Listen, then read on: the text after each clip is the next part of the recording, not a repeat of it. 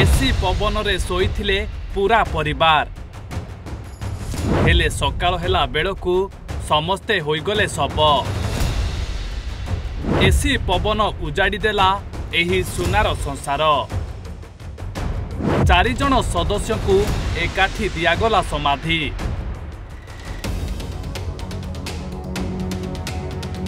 ହଁ ଆଜ୍ଞା।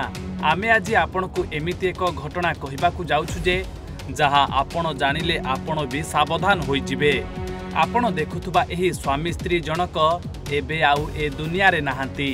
ଏସି ପବନ ପାଇଁ ତାଙ୍କର ଜୀବନ ଯାଇଛି। ଦର୍ଶବନ୍ଧୁ ଖରା ଦିନରେ ଆମେ ଘରେ ପ୍ରାୟତଃ ଏସି ଲଗାଇଥାଉ। ଏସି ପବନରେ ଶୋଇବା କାହାକୁ ବା ଭଲ ନ ଲାଗେ। ସେହିଭଳି ଏହି ପରିବାର ମଧ୍ୟ ରାତିରେ ଖାଇ ପିଇ ଏସି ଲଗାଇ ଶୋଇଥିଲେ। ହେଲେ ସକାଳ ହେଲା ବେଳକୁ ସମସ୍ତେ ଶବ ହୋଇଯାଇଛନ୍ତି। ଘରର ଚାରିଜଣ ସଦସ୍ୟ ଏବେ ଆଖି ବୁଜି ଦେଇଛନ୍ତି। ଏହି ଯୁବକ ଜଣକ ହେଉଛନ୍ତି ପବନ ଉପାଧ୍ୟୟ। ଆଉ ତାଙ୍କ ପତ୍ନୀଙ୍କ ନାମ ହେଉଛି ତିଥି।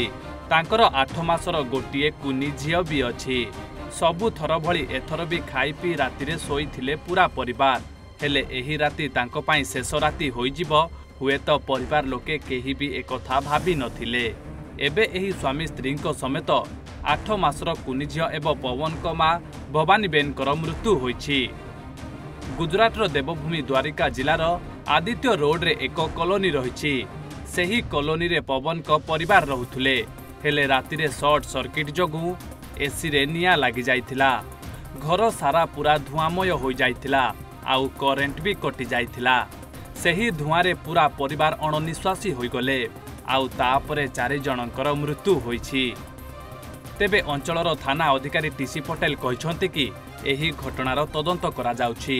କିନ୍ତୁ ପ୍ରାଥମିକ ତଦନ୍ତରୁ ଯାହା ଜଣାପଡ଼ିଛି କି ଏସି ଧୂଆଁରେ ପୁରା ପରିବାରଙ୍କର ଜୀବନ ଯାଇଛି। ତେବେ ଆମେ ଆପଣଙ୍କୁ ଏଠି ଗୋଟିଏ କଥା କହି ରଖିବୁ।